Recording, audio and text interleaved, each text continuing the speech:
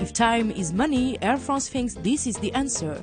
The airline's new first class experience starts with the chauffeur taking you to the nearest private jet. We are here in one of our private lounge. Passengers usually arrive 10 minutes before the flight, so it's very quick. The idea is to go from one point, point A to point B very quickly.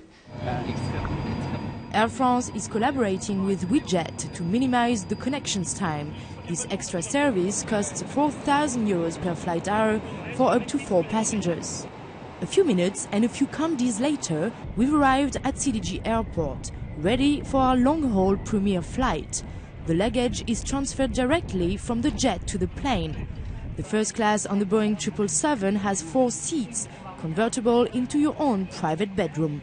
So you can choose to be uh, speaking to your neighbor or to, to be alone. And for that, we have this curtain. We have this fantastic seat, this new suite, a new system for the bed, a very large screen, a fantastic entertainment system. It is chic, it is high, it is French. Air France is investing 50 million euros in these new first class products. That's up to 500,000 euros per seat. Air France is betting on the French touch to regain market share after facing strong competition from Middle Eastern and Asian airlines. But unlike Emirates, there's no shower on board.